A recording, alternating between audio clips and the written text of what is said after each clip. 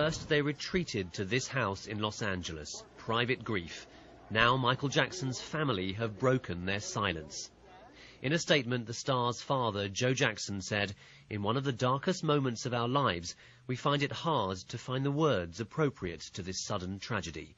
It leaves us speechless and devastated. We miss Michael endlessly. But they also want more information and ordered a second post-mortem. Friends say family members are confused and angry. The wound is open because it's not clear as to the cause of death. And the bizarre behavior of the doctor contributes to that. We don't quite know. Michael was training three hours a day uh, and dancing. Uh, a couple of young people said at 25 he was out dancing them. He just passed a physical test. And from that to massive cardiac arrest, at least created some concern. This man was there at the end, Jackson's personal doctor, Conrad Murray.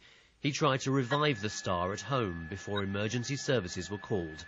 Police took his car to check if prescription painkillers were inside, but the doctor's lawyer says he has nothing to hide.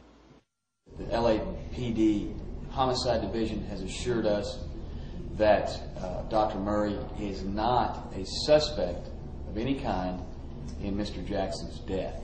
He is just a witness that the police want to talk to to get some facts out. Thank you. Let's keep walking, folks. Let's keep walking. And as the questions pile up, so do the tributes, an unprecedented reaction for a unique individual. Michael Jackson's star on the Hollywood Walk of Fame is hidden under there somewhere. This has become a makeshift shrine, and now, almost three days since he died, people are queuing up in their hundreds to pay their respects.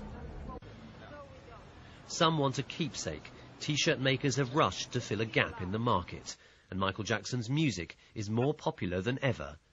He makes up nearly the entire top 10 in digital download charts in North America, Europe and Australia. Meanwhile, the music industry is preparing its own tribute. A Showbiz Awards ceremony tonight has been restyled. Now Beyonce and Jamie Foxx will lead a host of stars in remembering the king of pop. Rajesh Mirchandani, BBC News, Los Angeles.